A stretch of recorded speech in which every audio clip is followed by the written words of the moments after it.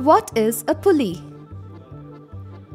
Sometimes it is not easy to lift heavy objects with only human force. This problem can be fixed with the help of a simple machine like a pulley. What is a pulley?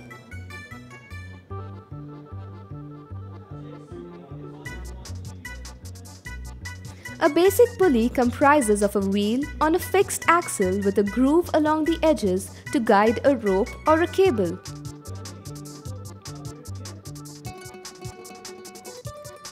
The load is the weight of an object and effort the amount of force required to lift or move this object.